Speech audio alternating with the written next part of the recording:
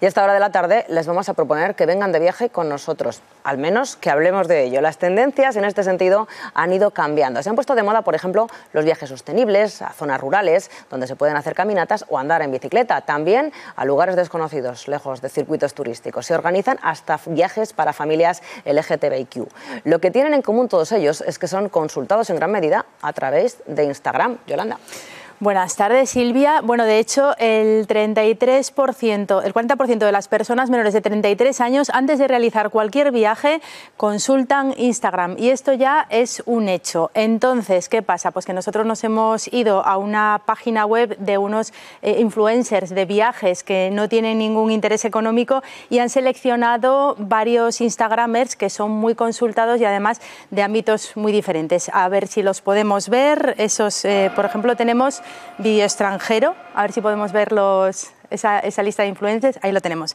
Vídeo extranjero que eh, destacan por sus stories y que son muy informativos. Por otra parte, cuaderno de viaje, que se basan en aventuras sorprendentes. Eh, enseguida vamos a presentar a nuestro invitado que está diciendo que sí, se ve que los conoce. Eh, aquí Ori 89, que son destinos muy desconocidos. Viaja más por menos, que son viajes baratos para los que dispongan de poca capacidad adquisitiva, como es mi caso.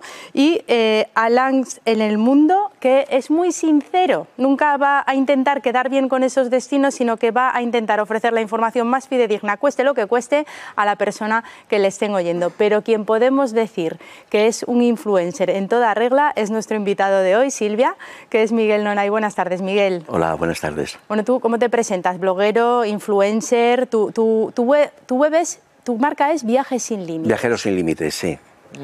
Pues nada, un tipo que va cómodamente sentado en una silla de ruedas y se mueve por el mundo. Eh, simplemente intento, pues con la experiencia de, de los viajes que llevamos ya un montón de años eh, realizando, eh, inspirar a otras personas, sacar mm, en vídeo sobre todo, porque es muy importante para nosotros saber que, nos podemos subir a un parapente, pero a la gente le interesa mucho, los que tienen alguna discapacidad, cómo nos subimos al parapente y luego cómo bajamos. ¿no? Entonces, quien mejor explica eso es un vídeo. Estamos, estamos, perdóname, viendo ahora unas imágenes de un viaje tuyo por Croacia, ah, buceando. Que no Ahí nos metimos por cuevas, es estuvo muy chulo. Bueno, me imagino también que viajando con una silla de ruedas ha habido anécdotas mil. Hoy sí, desde intentar destriparme un manillar eléctrico que, suelo llevar, hasta mandar la batería para un lado, el manillar para otro, romperme la silla de ruedas, sí, muchísimas cosas. Ajá. ¿Y qué viaje nos recomendarías? Pues eh, fuera de España, fuera de España tengo pocas dudas. Eh, yo recomendaría un viaje por el desierto en Marruecos. Pero no lo típico de a ver quién sube con el todoterreno la, la duna más, más grande. No, no, no, no. Eh, por zonas no turísticas durante 10 días, durmiendo en, en jaimas con, con, pastores bereber. Yo tuve la suerte de hacerlo en 2011 y, y muy chulo. Es un trekking. Yo, lógicamente, iba en dromedario me preguntaron cómo lo podíamos hacer y les expliqué un poco cuál era la cosa. ¿no?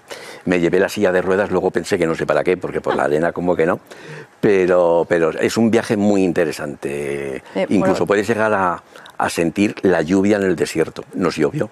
Bueno, no, no, dormiste en Jaimas en Petra, pero vemos que también has estado por allí, ¿verdad? Ah, sí, es, era un sueño que tenía. Tipo Indiana Jones. Casi, casi, sí. Bueno, ya lo ves ahí incluso con la camisa eh, cuando llegas, en la zona esta que ya llegas al tesoro, es, es impresionante. Lo, lo hicimos en, en, carruaje porque estaba muy complicado con la silla.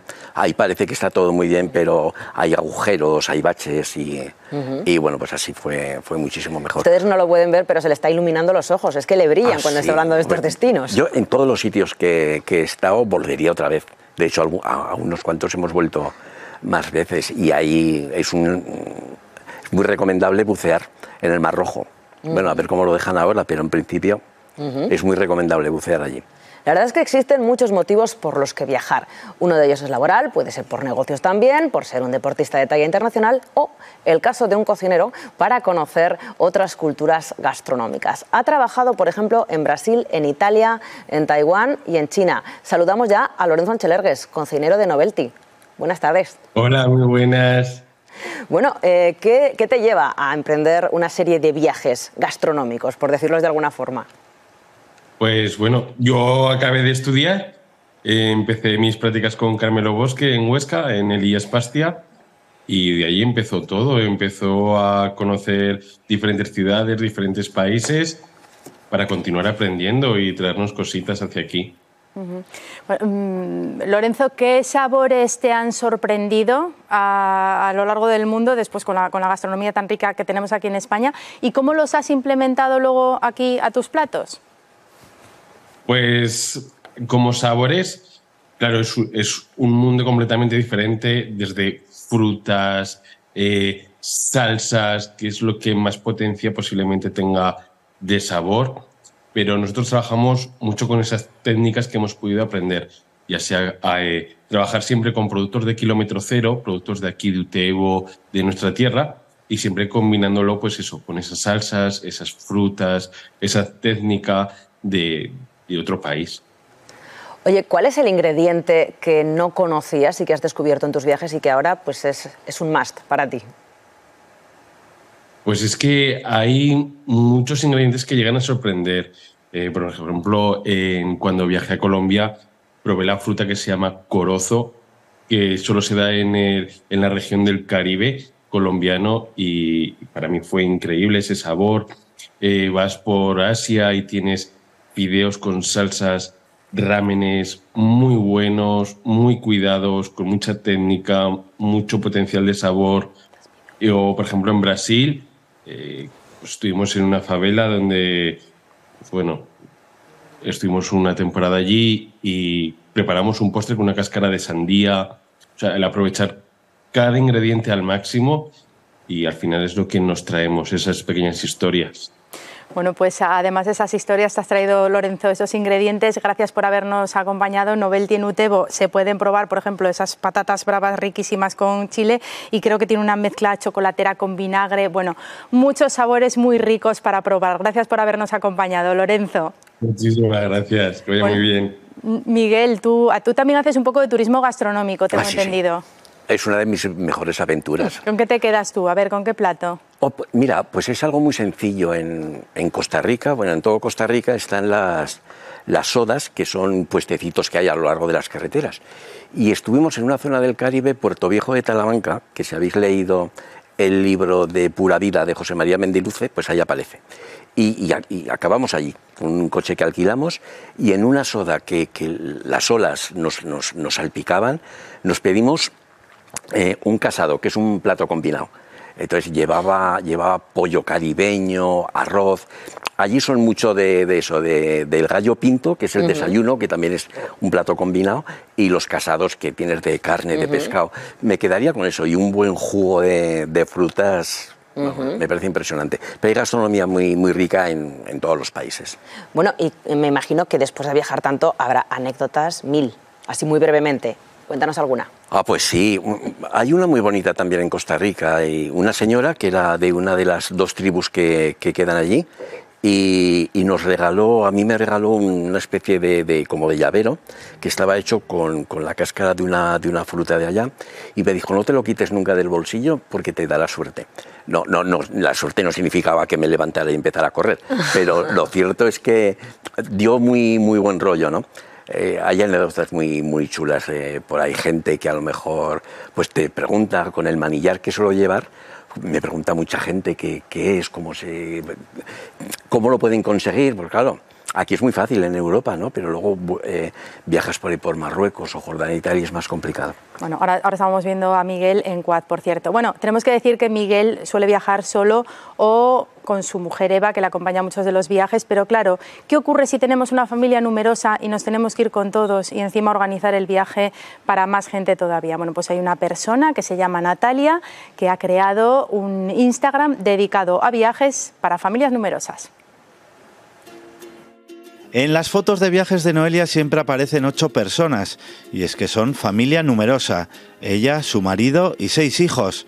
Por eso planifica todo con mucho tiempo. Eh, me preparo una pequeña guía siempre, bueno, una pequeña, bastante guía, que luego al final la mitad de las cosas se quedan sin ver, pero bueno, siempre me gusta tener varios, o sea, muchos planes para poder luego elegir conforme al tiempo, si sale lloviendo, si no sale, entonces Ahora ya está elaborando los planes para su viaje de este verano a la zona del Tirol, en Austria. Esto es como un cuartel. O sea, cuanto más organizado lo tengas todo, cuando, claro, como somos familia numerosa, mejor. Porque imprevistos va a haber, pero cuanto más controlados tengas esos imprevistos, mejor.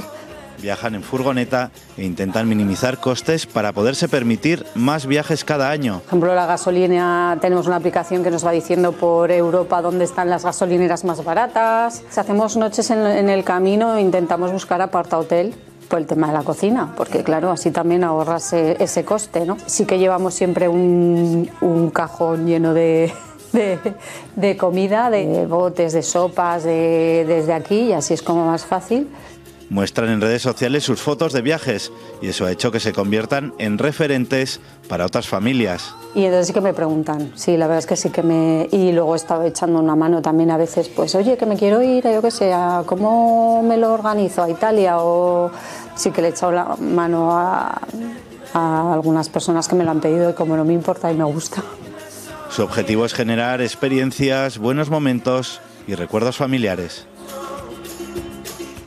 El problema de los viajes es que no siempre termina bien, en ocasiones perdemos la maleta o el alojamiento que hemos contratado no es lo que pensábamos. En esos casos muchas veces decimos, vamos a denunciar, no siempre lo hacemos. Íñigo Monforte, abogado, buenas tardes. Hola, buenas tardes. ¿Realmente cuáles son los problemas que, con los que la, gente se acerca hasta vosotros? Uno de los mayores problemas con los que realmente nos encontramos en, el día a día, bueno, pues pueden ser retrasos eh, en, la llegada a destino o, en el regreso, eh, pérdidas de maletas, eh, me han cobrado de más justo a la entrada o a la subida del avión y, claro, pues lógicamente muchas veces en esos, en esos casos eh, actuamos como consumidores y, no, no se aplica conforme a nuestros derechos. Y eh, tenemos que demandar en todo caso o con una reclamación es suficiente, porque a veces pensamos, si tenemos que pagar a un abogado, a ver si nos va a salir más caro la minuta que luego la recompensa. Normalmente siempre hay que poner una reclamación extrajudicial previa para darle a la compañía la posibilidad de, hacer, eh, de hacerse cargo bueno, pues de, los incumplimientos o de los derechos que tiene que, cumplir con el consumidor. Mm, la experiencia es que pocas veces hacen, hacen caso al consumidor y hay que interponer una demanda normalmente en el juzgado. ¿Alguna vez has interpuesto tú una, personalmente? Sí, eh, eh, representándome a mí mismo y representando a clientes. ¿Y funcionó? y funcionó. ¿Qué pasa? Que si no defendemos nuestros derechos como consumidores eh, ante la justicia, pues lógicamente esos derechos van, van mermando y eso genera bueno, pues que al final vayamos perdiendo en detrimento de pues, las calidades del viaje y, y, el cumplimiento a lo que la compañía se ha comprometido, que es a transportarte en una serie de condiciones con unas normativas y en un periodo de tiempo establecido. Íñigo, eh, esto realmente, eh, al final muchas veces lo que ocurre es que no nos hemos leído las condiciones que hemos firmado cuando hemos aceptado un viaje. Esto ocurre mucho. El tema de tener que decirle a un cliente, ya, pero es que esto es lo que has firmado. Suele ocurrir, sí, eh, pero es menos, en estos casos suele ser menos casual de lo que nos podemos imaginar. ¿Por qué? Porque tenemos una normativa europea que la gran mayoría de viajes son en el, entorno europeo o partiendo desde un destino europeo a un tercer país, que es la que nos ampara y normalmente desconocemos eso. Por ejemplo, si vamos con retraso, eh, la compañía está obligada a darnos víveres. De hecho, la normativa del SER del 2004 te permite hasta el envío de dos fax, que hoy en día no tiene mucha utilidad, pero bueno, tenemos ese derecho. Ahí sí. Muy bien, nosotros vamos a avanzar y vamos a hablarles de otro tipo de turismo menos mencionado, que es un turismo transformador. Ese tipo de viajes que se hacen con una intención de crecimiento personal. Quien se encarga de este tipo de viajes es, por ejemplo, Daniel Rupérez, emprendedor y creador de la web nomadacoach.com. Daniel, buenas tardes. Hola, buenas tardes, encantado. Daniel, todo empieza porque usted ha sido cooperante internacional. Así es, durante más de siete años, en varias fases de mi vida, he tenido la oportunidad de trabajar, de convivir y de, estar allí en el continente africano, en África del Oeste. ¿Ha vivido en diferentes países? ¿En cuáles? Sí, básicamente en Senegal, pero es verdad que por motivos de trabajo me he desplazado pues, a otros países como Mauritania, Marruecos, Gambia, Guinea-Bissau, Guinea-Conakry, Benín, Togo. La gente que se acerca hasta su web buscando un viaje, ¿qué es lo que está buscando? Lo que están buscando es eh, seguridad, porque África es verdad que puede ser o aparentar que es un país que da eh, miedo, ¿no? Eh, y ahí empieza un poco el trabajo de desarrollo personal. Vamos a empezar a, sacar las conclusiones de lo que es el miedo para cada uno, puesto que son conceptos distintos, y a partir de ahí pues vamos a, hacer menos dramático el continente africano, vamos a hacerlo más amable, más real y compartir las experiencias que yo he podido vivir durante tanto tiempo pues a través de esta experiencia, de este viaje. Claro, me imagino también que en un momento dado eh, la realidad de quienes viajan y la de quienes reciben es completamente diferente. ¿Cómo se produce esa dinámica? ¿Cómo se produce esa interacción entre dos mundos realmente distintos? Más allá de mundos, al final y al cabo, más allá de fronteras o banderas, eh, al final eso, se trata, creo yo, de personas y mirar a personas de igual a igual. Por ello, uno de los puntos principales es que trabajamos con proveedores locales, que con el paso del tiempo ya no son solo proveedores, son amigos, incluso algunos nos llamamos eh, hermanos, eh, y nos invitan a ceremonias locales y por eso tienen ese punto de, novedad y de flexibilidad en las experiencias y en los viajes, puesto que nos podemos adaptar a eso, a las invitaciones hechas por personas para personas. Y una última pregunta, tú has sido cooperante internacional, no sé si de alguna manera devuelves a esos lugares donde estuviste como cooperante con los viajeros que acercas a los mismos un poquito a la gente de, las poblaciones. Sí, por supuesto. Eh, como acabo de decir, más allá de desarrollar la economía local con proveedores locales, nada, nada de, digamos, empresas eh, multinacionales ni, ni internacionales, Em, eh, sí que eh, elaboramos y apoyamos eh, iniciativas y proyectos, sobre todo relacionados con la temática del, agua, tanto con los beneficios, digamos, de, la empresa, como con la aportación particular y privada de, los clientes que así lo desean. Y es más, durante los viajes se pueden visitar estos proyectos. Bueno, pues muchísimas gracias por habernos acompañado. en Nómada Coach podemos encontrarte y enhorabuena por la iniciativa. Eh, bueno, no sé si tú has llegado a estar en un destino, Miguel, de estas características. Sí, he visitado y la verdad es que cualquier, cualquier destino eh, que está que son países, digamos, en vías de desarrollo, que les llamamos así, el espíritu de colaboración y, de ayuda es infinitamente mayor que, que, en los países, por ejemplo, que hemos muerto de éxito, ¿no? que nos mata el éxito. Yolanda acaba de hacer una pregunta así más espiritual. Yo voy a ir a una más práctica. Ah, muy bien. Los viajes, ¿cómo salen mejor? ¿Qué recomendamos? ¿Organizarlos uno mismo o ir de la mano de una agencia? Mm, pues mira, eh, te respondo muy, muy fácil. Para que se equivoquen otros, aciertas tú. Yo tengo experiencias y, bueno, trabajo con muchas agencias de viaje que me contratan para diseñar circuitos y que luego gente con discapacidad pueda ir, ¿no? Pero a raíz de un primer viaje que hice a Argentina, de los dos que he hecho, la silla de ruedas me la rompieron. Lo hice a través de una agencia de viajes. Ya a partir de ahí todos los viajes me los organicé yo. Y aquí estamos. Resolviendo dudas a gente que lleva... Resolviendo dudas y intentando pues eso, aportar esa experiencia que, que te da viajar con cierta frecuencia. ¿no? Pues eh, Miguel, muchísimas gracias por a vosotros, un placer. por contarnos eh, vamos, eh, una forma de viajar completamente diferente y desde luego muy enriquecedora. Muchísimas gracias. gracias. Yolanda, nos vemos luego. Muy bien. Gracias.